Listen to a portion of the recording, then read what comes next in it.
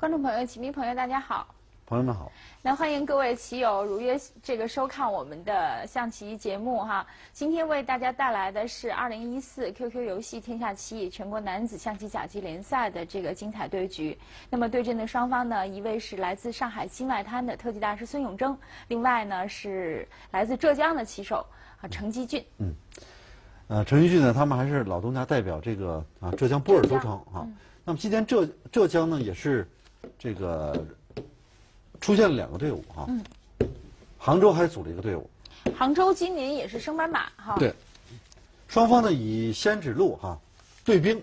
对兵局转换成中炮的平衡马。红红方呢等于是采用的三步虎七路马啊，七路马呢对阵黑方呢三步虎阵型，然后红方走车一，嗯，这个时候下车八进五。黑方走车八进五，嗯，车八进五这招棋呢也是呢。这个想从沿河这一带呢，这个反击，嗯，就控制你的兵除此以外呢，你又走象三进五，就是老式走法。对，兵五进冲。兵五进冲。嗯。黑方走炮架中炮。对。这个也。就说黑方呢，还架中炮这步棋呢，便宜了一点啊，因为有中炮的情况下呢，架中炮。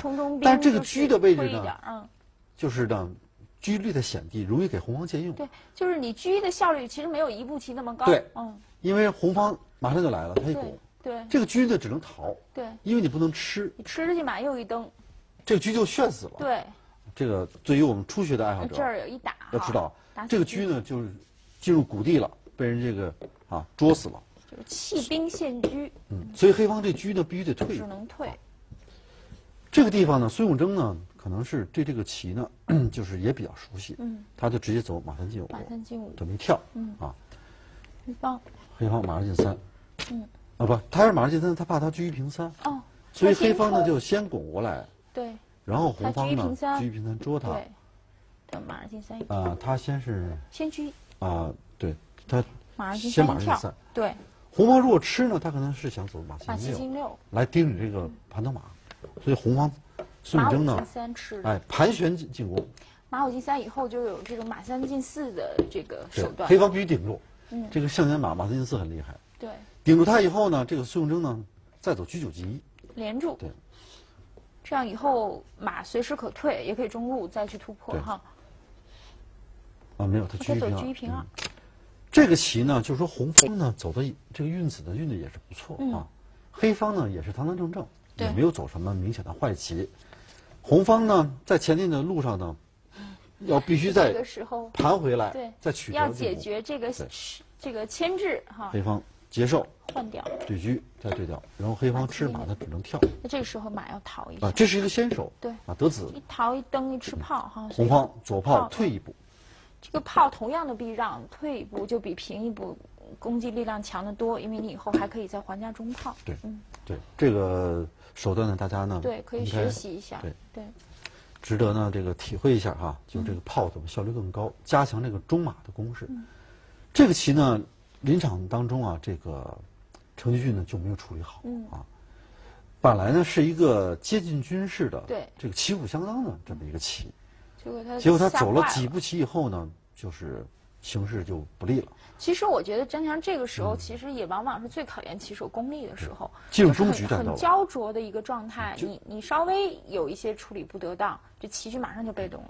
这棋呢，黑方最顽强的哈。如果说黑方略亏一点的话哈，就认不认这个略亏一点啊？他就应该走车二进六，直接就。其实亏也很有限，因为红方是先走的嘛啊。你亏一点也正常，其实。三步虎猎炮这种棋呢，就是激烈的。对。它不像士象棋啊或者平马的棋呢，就是说那么工整。嗯，这个棋呢，就是说红方好一点，那也属于正常。对。但是最主要看这棋黑方呢，它的抗衡能力怎么样？对。这个棋很显然，黑方应该车二进六，然后走车二平四锁住它，然后看红方怎么表这个态。对。嗯。如果红方用车吃这个象，然后他马一蹬。这会儿再蹬，我看你怎么蹬。嗯，你要马七进五蹬，我就可以士四进五，下步出老将呢。对我这个底线这儿揪着你的。就说这是里边有一什么思维呢？就是红方炮平五走成这种啊叠炮，嗯，或者沉中炮的这种棋哈，已经呢挡不住了。对。那么黑方要针对红方这个弱点呢，来采取对症下药的措施。那么现在就是，如果你在马七进五，你虽然吃了我一个象，对，但是你这个底势啊，顾忌这个地方，你这个龟背这个龟炮，怕什么呢？就是连不起来，我可以直视攻底。对。那你要是这么打呢？打了这个马这个地方，他可以居四平三这么捉。当然这个那你除非你你认可要，就红方也有一些线索，红方也也可以腾挪。比如说你腾挪之后在底线叫抽什么？啊，对，在炮片。对。那这个棋呢，总之来讲呢，就是黑方也能接受。嗯。啊。如果你用马登呢，你这个。这个炮就就有问题了，对，你失四进好，好，那么我们再把这棋拿回来。刚才的这个棋哈，那实战当中呢，他没有下这个车二他这个思路呢，就稍微有点偏。这个陈俊走了一个炮九进四啊。陈陈俊也是一个防御型比较好的这个选手。陈俊俊的棋风比较稳健，比较稳啊，四平八稳，炮九平七。炮九平七。他是想这么来打局。把这车打死，但是他忽略了红方呢，就是这种强硬的手段。对，红方如果比如飞偏向的话，那可能黑方呢还有喘息的机会。嗯，红方就一鼓作气啊，就直接这个一局换二了。嗯，黑方炮五平七打，那红方就不要了。对，这个车就送给你了。对，当然说他也是这个也是通过这个转化深思熟虑的一个啊，他先兵五进撞撞一将，撞过去。他一补士，他先踩过来。然后他兵五平六再锁一将。现在行，他锁没锁呀？锁不锁，反正都平了。已他先马四退三了，都关系不大。他早晚兵五平六。对他走这个，他车二进六，黑方车二进六也关。然后他这会儿兵五平六对一将，他不下啊。这个时候呢，他走的是马七进五。马呃，感觉来讲，红方应该走马三进四，感觉更好。保留以后多一个马马七进六马七进马七进五。嗯。呃，当然孙永生这个呢，倒也不是什么原则性的问题哈。然后他走车二平四，他是不是顾虑人家以后可以平到这个类上？以后对他这边，他有点那应该应该不怕哦。嗯，那么由于时间关系，我们不给大家细说了啊。对。呃，感觉还是马五进四了。嗯，马三进四好。对。走到这儿的时候呢，就是说红方由于连跳了七路马两下啊，嗯，给了黑方一点小小的透松机会。嗯。黑方这个棋啊，应该抓紧走马三退一。因为那个马前对前进马三退一争取从这边钻出来，那你就只能平了。你平的话，你看你平啊，我有出将反攻。嗯，出将，对，你这个马四进六进不去。对啊，你这个马折着呢。对，你要平平平回来。平平我这马钻。马一进二，马二进四上来了，你要飞手边象。但这个马出来跟不出差太多了。对啊。这最后差不多就是这个，就这个马拖拖了后腿儿。你因为黑方这个大子就是车马炮嘛，这个马如果不能投入战斗的话，最后这个棋就是被人家啊，这个困住了。所以这个棋呢，就是黑方呢没有把这棋呢想的这么严重啊，他应该赶快去调整。他可能觉得我还是有车方嘛，所以我没有那么大的问题。但是红方啊，要必须要考虑到这个因素，他两个马连的比较铁，另外他这个攻势啊很强大啊，就是说站位非常好。对，嗯。红方这个，他这个步数太慢了，太慢了。这个明明显不好。对，马三进五一蹬，眼看着就马五他这个炮太慢了，又绕了一圈。对，人家这么一拱，嗯，你只能败退，马三退二。对。然后红方马四进二这么一跳。他先走了一个这个，啊，对对，兵棋已经对他主主意已经交换了一下。对，他然后红方马四进二。对。这个棋啊，又到了一个特别关键的地方，就是黑方呢，可能没有办法的情况下，也只能去这么捉。嗯，然后把你捉捉进去，然后他再再进一步，就是让你这么走了，然后看你，看你有什么好的办法。捉可能有点问题，梁强，这捉他可能会跳你一将吧？跳将是是不是有出将？啊，有有有出将。对，因为你这么将，他可以吃掉你。对对，你再炮将的话，他对中炮了。就是简单的说呢，就是黑方炮九平五啊，这招棋啊，速溃啊，嗯红方炮五先打了一吃。然后孙武征选择的是马五进六，实际上这个棋呢，从马五进四更好，更凶是吧？马五进四就是什么意思呢？就是这个卧槽马你挡不住了。嗯。我下步棋呢，我就知势，知势炮平六。就是假设你如果飞的话，嗯，我就一将，嗯，然后我这一知势，嗯，下步大家看啊，有对我有马炮的配合，我这么一走，这马四进六一将，马六进八一将，双将崩了，双将崩了，而且我还有兵。就是说你没有居五退三这些机会。对对对。所以这个棋如果走马五进四的话，红方可能就速胜了啊。但是孙永征呢，可能他临场当中呢，觉得马五进六也够了，他他这儿关键马五进六可以还防着你下五进三他子弟飞这个比较兵嘛，对这个兵他留下了，对对，嗯，他马二进四了比较稳当。不是，是四进五，嗯，这样红方呢就说，啊，稳坐钓鱼台，啊，居五平七，红方就下的不着急了，我觉得多两个兵也够赢了，象三进一，车七退三，他回马，对，孙永征是这样的性格，对啊，他就就说他感觉这个棋，我已经能能牢牢的控制局面了，确保胜利了，我就 我就不用冒什么风险了我也不用考虑弃不弃子了，我已经够下了。因为你现在不敢飞，飞他这个平兵你也受不了啊，就兵就冲下去了。嗯，等于红方呢也算准了呢，这个啊能够锁定这种优势，所以他也走的比较老练啊。他炮五平六啊，他先下兵，他飞高象啊，他炮五平六，他车五平四，然后他飞象。反正红方呢，就是说的看到这种优势呢，已经不可动摇了。对，他就是逐步推进呢，让自己啊没有任何的后顾之忧的情况下，对，呃，将来这一推进的时候呢，就可以锁定这嗯种胜局。这个棋呢，确实呢，主要是黑方呢这个马受制跳不出来，这很痛苦。没错，就他是这个，跳不出来，就看着人家那个逐渐的往下排对兵，把这马给他挡不住吃死了。啊。对，就是退一，嗯，他退一步。象一退三。你看红方呢，就先把把把阵型调好，象七进九。黑方这个棋比较痛苦，他不知道走什么。这这这是也是没什么好走的这个棋。红方马七退八，马七退八的就准备兵争西一了。妙处就准备往下下了，再下兵就贴你马去了，，你这个马就很危险了。那黑方被迫呢就把进象，他啊进去了，然后他开始运这个马这棋下的挺挺有意思的。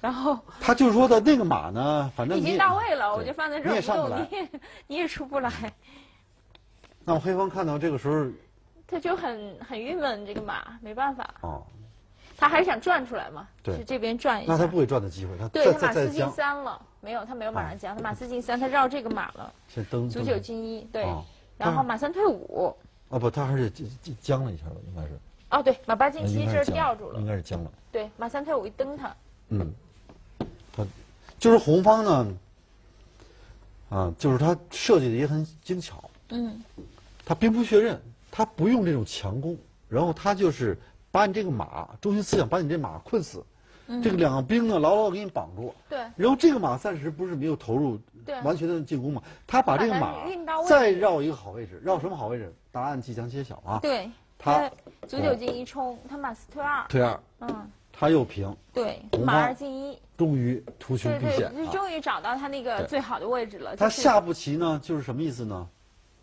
走马一退三。对，就是马一退三卧槽。这一段呢，我们摆的快一点哈。对，呃，但是确实呢，就是黑方呢也不好有什么他这个我觉得真叫兵不血刃，就是那种捆绑的，就绑的你什么子儿都动不了，然后你徒空有这个车马，什么劲儿都使不上。对，孙永征呢，这个他的功夫还是非常过硬的。嗯这个孙永征可能大家也是啊，众多的棋迷也都是比较了解。对对来自上海的科技大师对啊，，也也是胡老师的高徒哈。对，嗯，呃呃，两年以前呢获得这个呃全国个人赛的这个冠军哈，嗯啊，呃，应该说功力呢非常的深厚啊，就是这种能锁定胜局的棋，他下的。那肯定跑不了了。对，然后他马一退三，再把它扣住，然后他下了一个这个。他是先马七退九吧？嗯，他啊，对他先下了一个马七退九，对。不起啊，他这个时候马二进一的时候他吃，他马七退九了，嗯。然后就车一平四，他往下一冲，嗯。然后这个时候在这儿啊，对他车四退三一吃，这会儿他他这时候下的马一退三，对就是红方呢，就是看到这个位置啊，已经水到渠成了对。他这个马呢，啊，运的非常好，来控制他将四平五，然后这个炮呢把你这个吊死，然后这个马马兵呢再一配合呢，就是黑方由于老将不能动，这棋俗话就要讲见将亡，对你一将上他就把他将死了。对对，所以走到这儿，程序俊也只好认负了，因为如果他现在没下子了，砍了炮也是输，马也没有脚能跳出来。对对因为这个棋下步，啊，你假如呃拱的话呢，红方就是有很多种走法都可以赢啊。他下也可以，你这么上，然后他可能最简单的就是这个拱式，啊拱士也行。拱士就最简单，我们就给大家这么看一下，对这是这么冲死。对。哦，你要你回向，他平平对。他可以马九进八，也是绝杀。对，就是绝杀。也是宋一将马八退七，就是总之呢，就是这个图形呢，由于黑方老将啊不能动了，所以说这红方呢就是可以。是。这样还是连将的，直接这么将，这啊不不能将，还是得回来。就是这样控制一下就就赢了。总之呢，这个地方呢，就像教科书的经典交例一样啊，这个，呃，孙永贞呢就给大家上了我觉得后面十招这个部分可以作为这个我们这个终极爱好者作为一个习题哈，看看怎么能够控制住这个局势，兵不血刃的拿下这一城。对。好，那这盘棋就为大家介绍到这儿，一会儿呢还有一盘精彩的对局跟您一块儿分享。好，朋友们，稍稍后再见。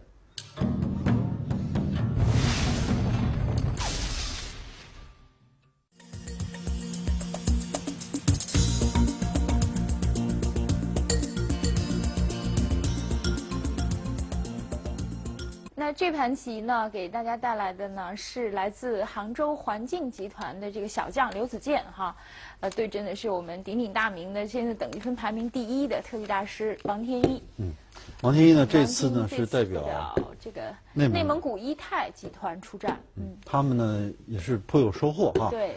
呃，在全国团体锦标赛当中拿到了冠军。对，这也是内蒙第一次拿到这个锦标赛的冠军。嗯。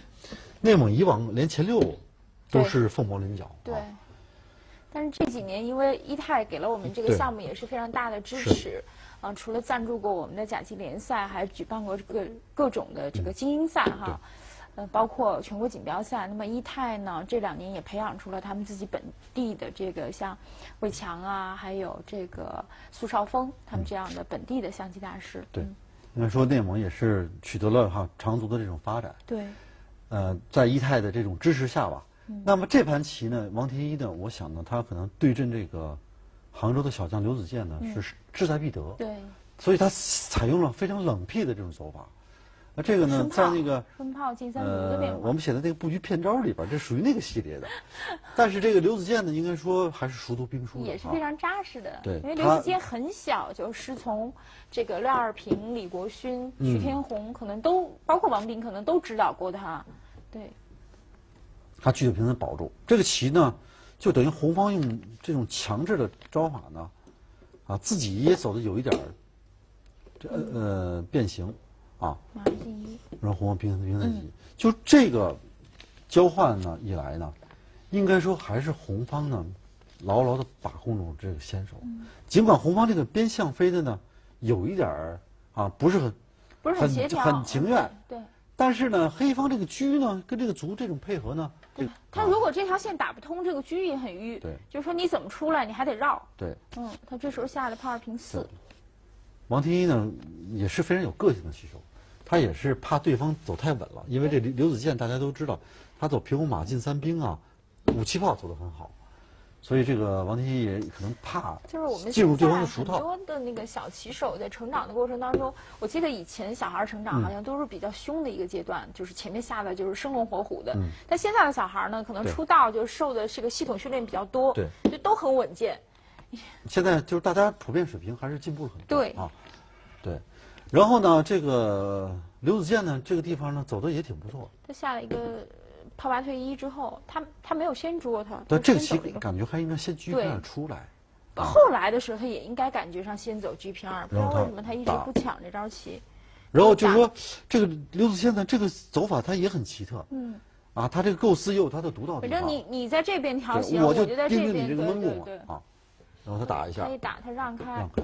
我觉得他这个时候也应该先下车一平二，就是对，不知道为什么他应该是出天一是怎么考虑的哈？这个棋他要是飞象的话呢，就是如如果假设飞象，他应该走象七进五，就解决他底线的这个毛病，避开这个锋芒啊。因为你红方车九平八的话，他可以车平二再对车，嗯，对完了以后炮四平二，炮四平二打出来，对，这样就好多了。但是这个棋就是下的很。就是我，我就比较没没有看懂的，就是这个时候他没有去抢那个车平二，他这时候啊，对他这时候来对车，这个对车还是亏，就是啊，总归是亏的嘛，对吧？呃，如果选择对车的话，他应该走车一进一，哦，车一进一这么对是吗？这么对以后，因为那三路车总要绕出来，对，然后这个一路马呢，等于还不用向回退，一路马其实这边出跟你绕回来。当然又又废了一步对啊。你这儿是对窝狙，对啊，对窝狙是亏先的，就是在局部上是亏了。对完了以后呢，就是说整体上来看呢，黑方先手倒亏的不多，最主要是他这个阵型啊，出出出这出条线这个故障了。出问题了。对。对。然后红方呢，马三进二一跳，对。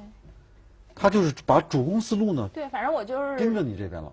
对着你这边发力了，那相对来讲，这个时候棋可能走车三平二啊，赶赶快绕出来可能会好一点。然后伸进来，那王天一可能也没有注意到刘子健，或者我觉得他就不行，就这边就这么出来吧，是不是也是个路子？反正我觉得他这个他可能没有注意下边红方这个凶悍的手段。他没他肯定是对他忽视了，对他没留意到按说王。天一这个杀力很大，呃，他很少有说这种啊中局的这种这种凶招看不出来，对对，这个盲点或者他看出来可能抱侥幸心理。不，我觉得有点不太应该，可能这招棋嗯还是有点冷。他下了一个兵三进一，对，红方这个棋呢，可能按照常理来啊，讲要，平一下什对么的对啊。对但是红方这个时候呢，他看到这边时机已经成熟了，对，他直接因为毕竟呢，黑方只有一个马来防御，他就采取强攻了，对兵三急。对啊这个棋黑方象肯定不能飞，象一飞这这一 这个花了，这吃 对，这全都啊，黑方这个阵型整个就是太难受了哈。对。那黑方硬着头皮，就是说你这棋如果不吃完全气的话，这个兵下来也太大了。就说刘子健呢，在面对王梯的时候呢，对。他这个敢打敢冲啊，这个还是下的非常有就说他没有把这个对手啊想的多么多么的这个强大对，他还是敢招呼。对对对，没错没错，这招棋下的因为那个这个江苏的这个棋手啊，刘子健也是来自江苏的这嗯个小棋手哈，啊，也是学习比较早啊，嗯。啊，这几年呢也都是能大大小小的比赛都能看到他们这些啊这个年年轻轻人人的这个身影啊。对，然后呢，这个江苏的有一个朱小虎，嗯那年对王天一，就王天一拿冠军那年，嗯第一盘棋啊，就走的优势特别大。哦结果走来走去，走来走去啊，就让王天一呢解脱了。哦后来王天一呢，就是由于大难不死，最后这必有后福了，哎？这个捷那足先登就取嗯，得冠军了。嗯呃，就是如果那盘棋输了，可能这个历史就改写了啊，就后面怎么样那？输了肯定拿不到冠军了，这很难打。那就那就啊不知道了大分小分都丢了，因为我们全国个人赛啊，呃，一般是打甲组是打十一轮比赛对，十一轮比赛你第一盘一输，然后第二轮呢，就算你赢了吧，你这个累进分呢，跟比前边的吧，就且追不上了，对，就很难追啊。没错，然后红方呢，在弃兵以后炮平三，嗯，双打啊，这棋也走得非常好啊。黑方马三进四一跳，然后红方呢不直接去吃他，如果你直接去打，他的马三进三蹬，对。黑方多两个卒呢，还能跟你呢，这个棋还能下，哎，嗯跟你有这个折腾所以他这个棋，周旋的机会。所以这刘子健下的挺好，也是对。在这儿，对，对他马一蹬，你马只能逃了，你对这会儿不能再让人蹬了。对。啊，他回。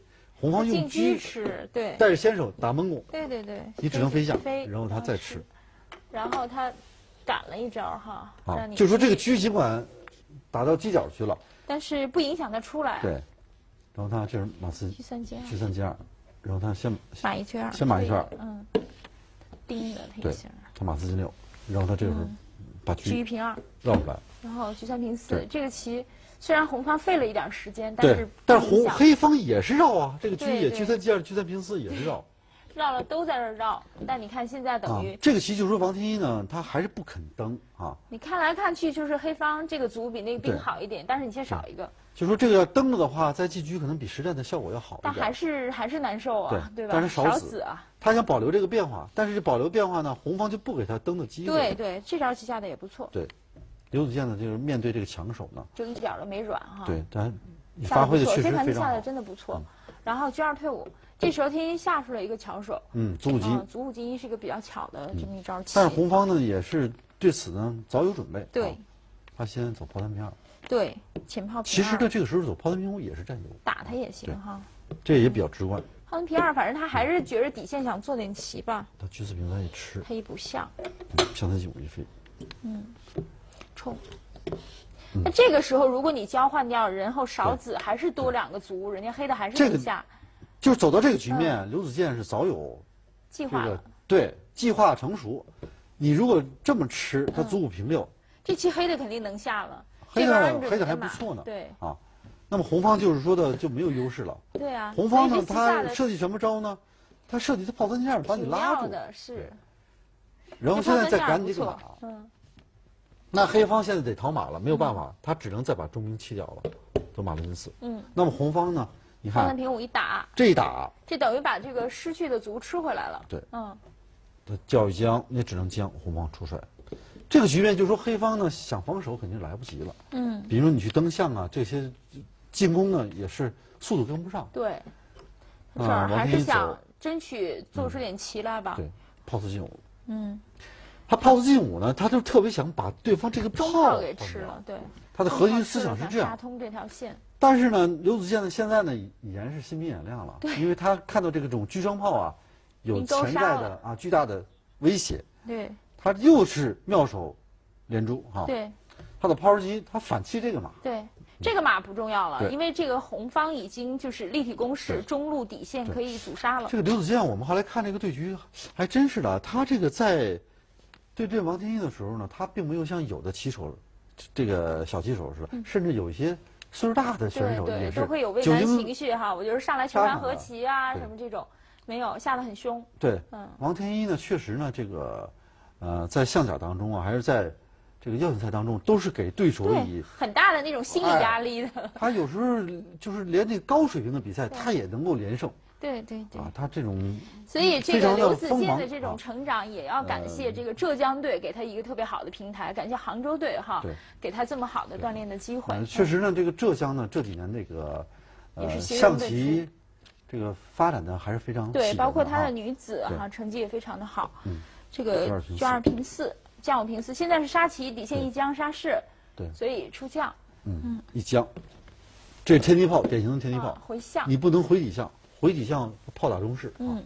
这是一天梯炮，黑方只能象五退七。对他只能回这个，然后呢，这个棋呢就比较简单了哈，车四红方走平八这么一对溜，嗯车四平八。杀棋哈，炮四进一，对，如果你平的话呢，嗯平的话，他底下一将，他马四进五。反正你你你你一将一将打过来也行，这将的将法太多了，嗯不，他先底下一将先底，线一将，这个棋呢就是啊，等于黑方没有还手之力了，对，红方完全的掌握了这个优势，他们直接立体攻势了炮一将，，黑方只能平。他也一将，一直士，对他一将对，这个棋呢就是红进来，啊，然后最后一步棋红方走车八平四嗯，，其实现在是有个连将杀哈，对现在一将下来，中间一将将死，对，嗯，然后再你电炮的话，他就登这个，然后也是登士杀我们，看啊，就是说嗯，这么一将，一下将来一将，再一将，你嗯出将不行，这车八进一将子，落士的也车八进一将对，你只能电炮，然后马后退七一将，对，啊，无论你怎么样，他还是一将，再一将，对，马后炮杀，你这儿他进将，进将马后跳，哦，还不是杀，嗯还有一点有一点有一点儿，反正这个棋红方肯定是也是做是杀了大家如果对这棋感兴趣的话呢，可以再呃拆一拆哈，对，反正这个棋这么走肯定也可以赢。嗯，但是呢，呃，刘子健呢这个时候显得他也很老练哈，嗯他将到这儿的时候呢，他不去将，对直接杀他把直接士了把士师杀了，他看清了，因为这个时候他也是多种杀，嗯车四平五，车四退一啊，对这个都是杀，还对炮六平五。对，这个棋最主要黑方呢，他这个车马炮陷在这儿了，这边怎么也救不了了。没错，所以天一也只好这个就是推投资人负了对。那么这盘棋呢，应该说小将呢战胜这个这个绝顶的高手，特别王天一呢，应该说是最近的状态非常的神勇。对呃，那么也是爆出了本次比赛的一个最大的冷门。对啊，呃，也也应该说这个象甲也确实也经常有这种这样的平台哈。啊，那我们也希望后面的象甲能有更多的这个新秀涌现出来哈，给大家带来更多精彩嗯那也相信这个象甲也会越来越精彩。没错也感谢大家啊关注这个二零一四的象甲。好那么世界杯之后，象甲又将燃起烽火。好，感谢各位棋友的关注，再见。